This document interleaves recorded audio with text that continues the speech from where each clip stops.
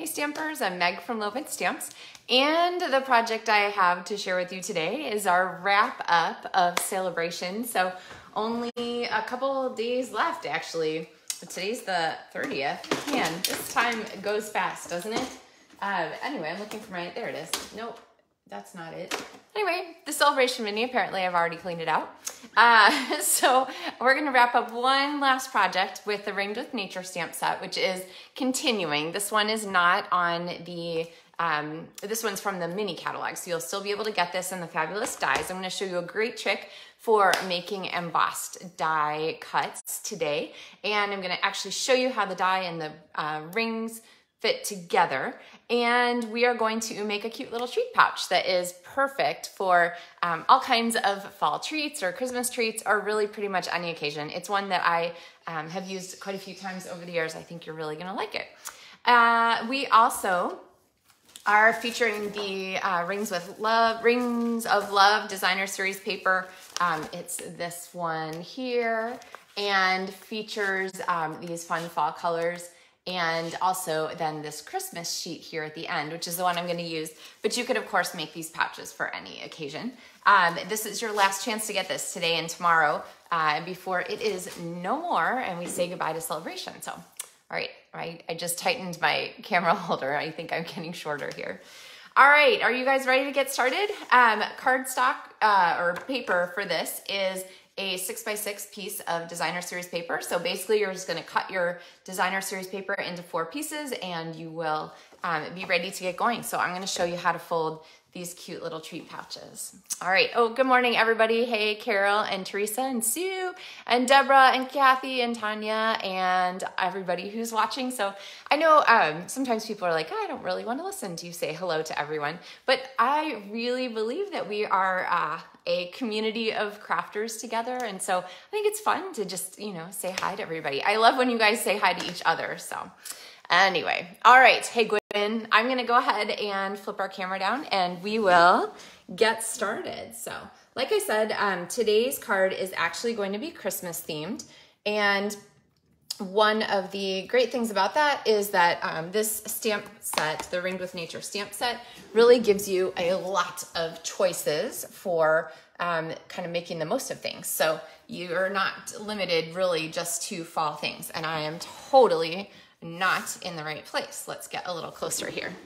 Um, anyway, we are going to um, go ahead and work here with our paper first. So I'm gonna show you the folding process. Um, so one of the trickiest things when you're using a paper that has direction to it, like this tree, is you wanna think um, a little bit about what you want to be at the um, sort of at the top of your pouch. So um, I'm gonna show you how this works and then you probably, um, when you're making yours, you wanna go back and just look at how I oriented it, it'll make more sense. But this is a really easy treat pouch.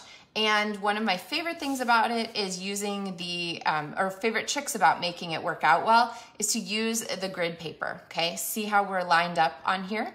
Um, so what you're gonna do is gonna go ahead and fold um, first on the uh, long line. So you're just gonna fold corner to corner across there, okay?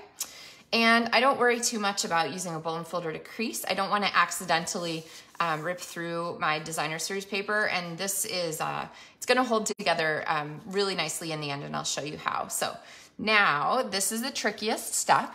So what I like to do is make sure that my um, paper is kind of lined up here on my, um, my DSP is lined up on my grid because what I'm gonna do is I'm gonna bring this corner across to sort of midway on here. And what I wanna do is I wanna look across and see that this line is straight. And the easiest way to see that this line is straight and sort of like parallel with the bottom is to just look and see on the grid if it's matching up. So it's just a little above that line, a little above that line. So it looks good. So I'm gonna, I'm gonna go ahead and fold that, okay? You could even move it right down here, okay? And you'll be able to see right there that we got a straight line. Then the second thing is to take this corner and you're gonna meet this um, edge over here. So I'm gonna go ahead and fold that across and go ahead and you see how we see this straight line right here again. Okay, hey Sue, hey Trish. All right, I'm going to then go ahead and crease that. And really, this is how simple this little treat pouch is. Um, if you are looking for something fun to do, um, oh, I should finish it before I talk that way. Um, I'm gonna take this now and just fold this back and then um, that is gonna hold it all together. And then the final thing is to just sort of open this up here. And that gives you like your final like this is not going to come apart. I think if you're like an origami person you'd actually fold this back or something like that. And then it's like a little drinking cup. Um, but I really like this presentation of it because it gives us a really nice um, front here that can be decorated. And you can see that even though this paper that was on the inside had some direction to it, um, it works out okay to fold it this direction. Now, if your trees were upside down, that might be a little trickier, but these, um, these work nicely here. So pay attention if your paper has some direction to it, okay? So super simple. That took us hardly any time at all. And of course you could do with any of the designer series papers. So here's another one from that same pouch.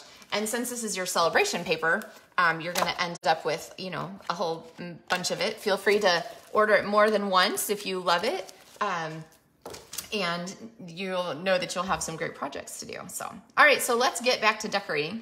Uh, I can't remember, I lost track of what I was gonna say. Probably was not very important. Um, oh, it was about like if you were gonna make trick or treat pouches or something, you could whip up a whole bunch of these really quickly. Now, the next question is usually what fits inside there. And the answer to that is lots of things. Um, I think they are perfectly sized though for Ghirardelli chocolates like this. Um, so I love doing that. You could actually use these for gift cards. Let me show you um, a really quick uh, trick here for how you could make them um, be a little bit closer to gift cards holder size. So I'm gonna go ahead and start with the same six by six paper. So here we go. And we're just gonna make it with a wide bottom this time. So I'm gonna go ahead and orient my paper the same direction. I'm gonna start off by folding up from the bottom. And then when I fold across, instead of folding um, so far up, I'm gonna fold it a little further um, down and I'm going to leave this open. So a gift card, if you have one handy when you're doing this, that's kind of the smartest answer. Um, but see how I've got it straight and I've got this straight, okay? Oops, I just folded it crooked though. And then this one I'm gonna fold and I'm just gonna meet that same line. So see how we have a really wide bottom here? Okay, so we have a wide bottom version here versus the one that's a little bit tighter for Ghirardelli chocolates and I'm gonna fold that down and then we have this shape pouch. So you could put your gift card in this direction if you wanted it to um, kind of stand out. I think here actually I have a, I think I have a gift card. This one doesn't match, so of course it's not the one I would use for this. You could do it this way or um, you could do it this way. And you could even adjust your pouch size here to fit the gift card exactly. So here, what if we do that? Fold, oh, See, this is the problem most people do. They want to fold at the bottom. So you're not going to fold the bottom. You're going to fold at the top. So we're going to do that. And then this one a little further. There we go. Now we have the gift card holder size that fits. Okay. There we go. And then this fits down into the bottom. Okay. Just like that. So you could use these for gift card holders too, or you could use the gift card holder that I showed, uh, what, last week, I guess, or two weeks ago. Um, this one here, which fits the fabulous also designer series paper. Okay. All right. So let's see. Um, Tanya asked what size the paper was. Yes, six by six. Of course, you could do them with any size paper. Um, you could do 12 by 12 ones and fit really big stuff in there. You could do uh, six or four by four and fit little tiny treats. Um, you can really adapt them to kind of whatever your needs are. So let's bring back our stamps and go ahead and uh, just and do our stamping. Um, the key really is to just making sure that you uh, start with a square, okay? All right, so I'm gonna show you this. I just inked my um, just inked my Poppy Parade stamp. So I got a nice juicy image here. And I'm gonna show you um, some tips here for cutting. So this is gonna be fussy cut.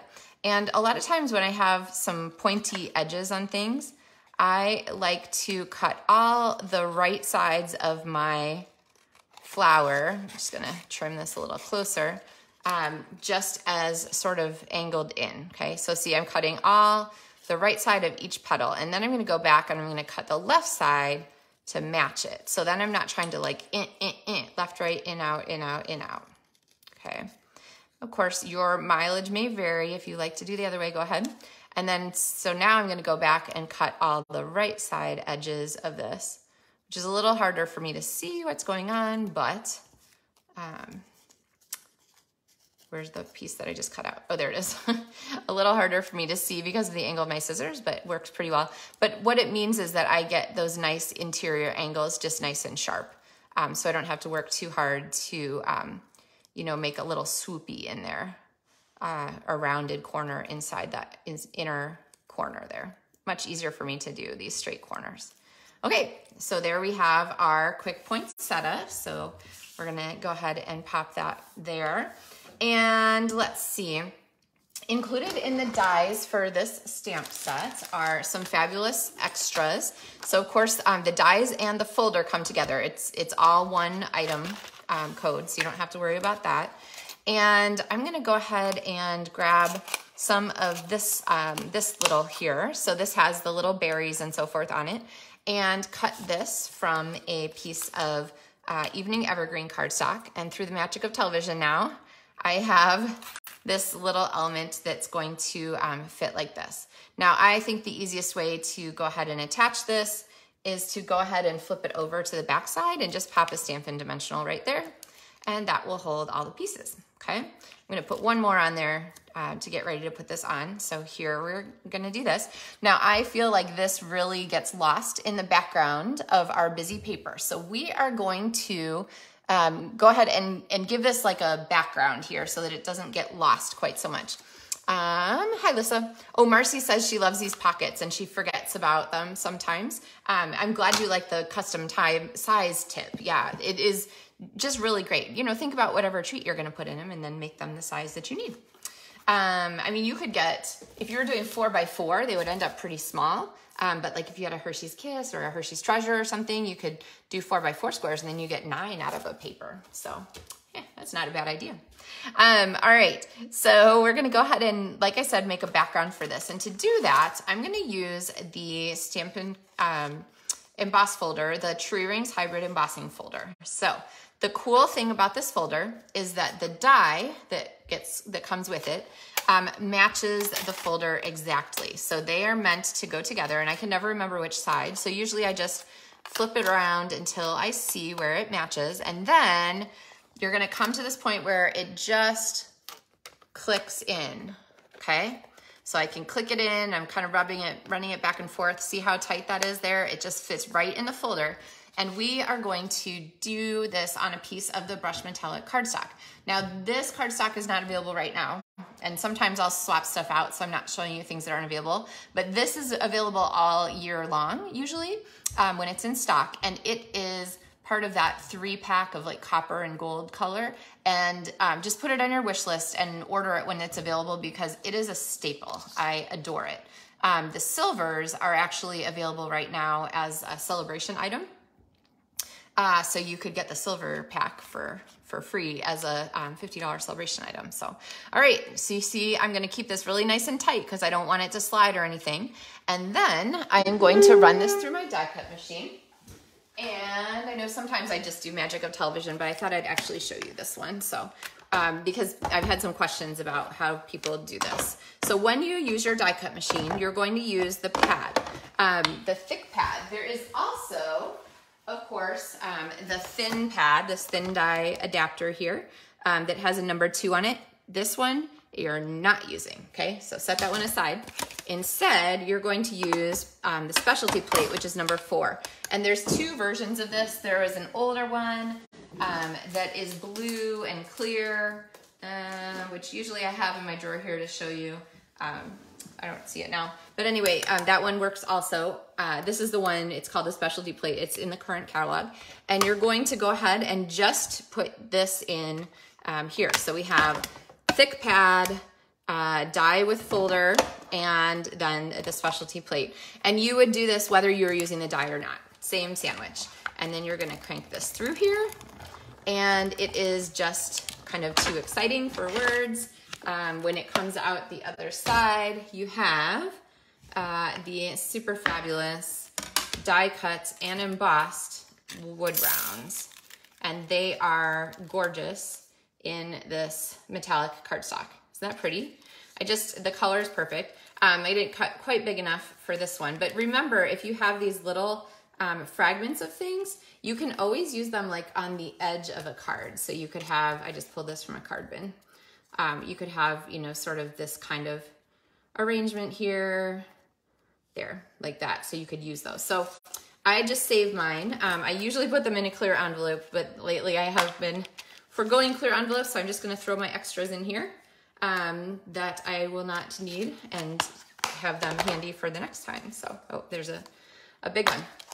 All right, so uh, like I said, the matching dies for this are just absolutely amazing. And they're, like I said, also in the holiday catalog, the July to December catalog, so you don't have to worry about them. Oh, Teresa said silver isn't orderable right now. Uh, thanks for the heads up. I actually, I didn't look this morning, but I did look last night. Um, the good news is that the silver will be back, so not to worry. It's like it's the end of Sale-a-bration or something, and people are trying to get their last uh, orders in. I guess the answer to that is do not wait for the things that you want. So, all right, so now look what happens. I said this was really busy. If I put this behind, all of a sudden our pretty poinsettia has like a home, um, a base that makes it stand out, and it's so much easier to um, see that, okay? So I think our camera is moving as I talk. Anyway, uh, so we're gonna add one more thing. We need a greeting. So I have a piece of uh, craft cardstock here and these supplies here are of course curated this month to go with the three other projects. Um, and so I'm gonna use the same inks and papers and stuff for all of them. And that way you know um, that you will always have great ideas for these, uh, these supplies, okay? So, uh, and the tutorials for those are available in my Etsy store at Loven Stamps. Uh, well, Etsy at Loven Stamps or uh, Loven Stamps Etsy. I can't remember. Loven Stamps Card Shop is the name of the shop on Etsy. And they are also available for free if you place an order um, this month. You get a PDF tutorial with pictures and directions and cutting sizes and all the things. So, greeting here is a little bit too large. So sometimes on these little treat pouches, I'll go ahead and extend over the edge, but for this one, it felt a little bit like too much. So I'm gonna go ahead and trim it and go ahead and layer it here as two elements. So we're gonna kind of put it across like this, okay? So that our greeting fits a little bit more nicely on there. Now, I don't really wanna put everything on dimensionals, so I'm gonna go ahead and use my multi-purpose liquid glue and just drop a dot of it on the back of each of these on the end that is going to attach to our wood round. And you know what? I'm going to go ahead and attach my wood round so that um, it doesn't move on me after I get our pieces on. So we're gonna stick that there and then we're gonna pop our greetings on. And the one of the advantages of the liquid glue is that you have a little time to kind of get them arranged because you can shift them just a little bit until the glue grabs. And I kind of like this a little bit off. Uh, and then we're gonna go ahead and put our poinsettia on. Now I have one more very important addition to this, um, and that is going to um, turn this from a cute um, pouch holder into a really cool one. Um, and that is the addition of these um, rustic metallic dots. So I use these rustic metallic dots on all the other projects um, from the series for this month. So from this gift card holder, I use them here. Um, there's more wood rounds there. Um, I use them here on this version with a little um, strip and more designer series paper. And I use them here um, on our uh, trifold card here uh, with our DSP background. But for this one, we are going to use them for a specific purpose, and that is to give our poinsettia um, sort of that little uh, center mark that it usually has. So I'm gonna go ahead and I'm going to, there we go, kind of want the little ones. I'm gonna go ahead and pop three poinsettia dots right here in the center. And that is going to finish off our cute little flower just beautifully so that it matches everything else in our little elements here and so that it, oops, like I always tell people, these take a little time to dry. Listen to yourself, Meg. um, and it really uh, helps to round out those colors and have that fun little accent there on our poinsettia, okay? So like I said, a very um, simple project for today, uh, but one that you will definitely find handy um, and is easy to customize sort of um, to different themes. This one's definitely a springier, summerier, um, even fall. Uh, two different sizes so that you can put your gift card um, inside there. Just lots of flexibility on this fun project. All right, I have, since this is the last Maker Mornings with Meg, um, of the, well, it's a, a, kind of a big last. It's the last Maker Mornings of Meg of Sale-a-bration, and it is the last uh, Maker Mornings of Meg of uh, our summer school editions, uh, because on Tuesday, we are going to start off uh, season two of Maker Mornings with Meg, and that will um, kick off uh, a season uh, for the fall, which will include videos every Tuesday and Thursday morning at 9.30 a.m. Central Time. So watch for me then. Um, last season, we did Monday, Wednesday, Friday. This one, we're going to do Tuesday, Thursday. So coming soon. Uh, but I wanted to show you just a recap of some of the other Sale-a-bration cards. Um, so that you have some ideas to either use the things that you've already gotten, which is fabulous, or to uh, go back and think if there are any last minute things that you want to get while Sale-a-bration is still going on. So this is one, this is a Maker Mornings with Meg project. We talked about watercoloring with this hippo. Um, the hippo stamps I think are still available, but uh, at the moment the dies are not. So those are already gone. Um, sort of a like last minute kind of thing. And the, I'm on the wrong page here, um, but Hippo's also available cute without the dies, or if you already have your dies, then you're gonna wanna look at these. This is a card by Amy Story. Uh, this is a card by Kim Peck. Um, lots of fun hippos. This is Rachel Chamberlain's card. Um, this is one by Tammy Ackerson. Um, this is one that I showed that is um, available as a Maker Mornings with Meg video, and I didn't color the hippo, and I didn't die cut it either. So don't give up on this stamp set just because the dies are gone. Um, so right there, you have that fun example. Um, this card is by Cindy Bauman, and she used that designer series paper, um, that six by six Sale-a-bration paper there too. So that one is also a great Sale-a-bration item. Here's a card by Linda Bowen and another hippo card by Mary McNeely.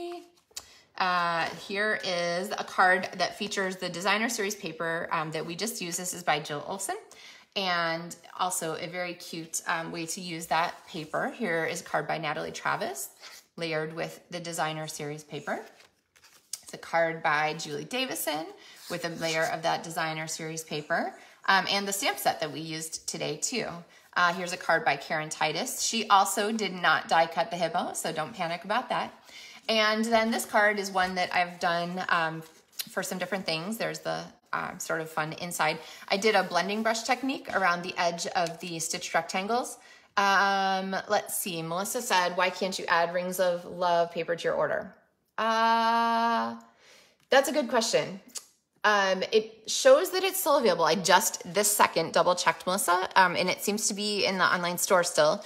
So um, a couple things to check if you're ordering online. Um, the designers or the uh, Sale-a-bration items are ones that you'll add to your cart after you have qualifying items in your order. So um, you'll have to have your $50 of stuff in your cart. And then as part of the checkout process, you select your um, Sale-a-bration items. It'll kind of step you through that at the end. So you, you don't go to like that catalog page and click to order that item. You select them as part of a special checkout process. So um, if you still can't get it to work, Melissa, let me know. Um, okay, so this is one that features the folder in the background. So this one I used um, just as a pair. This is a Sale-a-bration stamp set, the sketch, uh, sketch, uh, stylish sketches. I couldn't come up with it um, there and kind of a fun way to use that. Um, here is a card by Janice Waitman where she used the ring paper, so really similar idea. Um, here is one that features this um, gold designer paper for Sale-a-bration. This is Kathy Parlitz's. Uh, this one is um, by Ann Klummer. It uses stamps from the um, July through December catalog, but this greeting here, this um, hey and the good looking come from the Amazing Phrases sets, which a $100 item. And then um, this is a card by Amanda Hincamper um, using the designer series paper for the wonderful oh, wonderful something. Uh, paper. Um, here's a card by Mary Ellen Stites. Um, this is that pretty floral set. I'm not sure whose card this is. Um, maybe Leanne Graff's. Uh, the um, stamps and here's a Mary McCormick card. The stamps and the paper come together. Um, this is by Susan LaCroix. And so then you can um, mix and match your pieces. Uh, this is by Becky Prather. I love these cards uh, or these colors that Becky used here. And um, this is a great die, uh, the Stitched Whimsy um, die.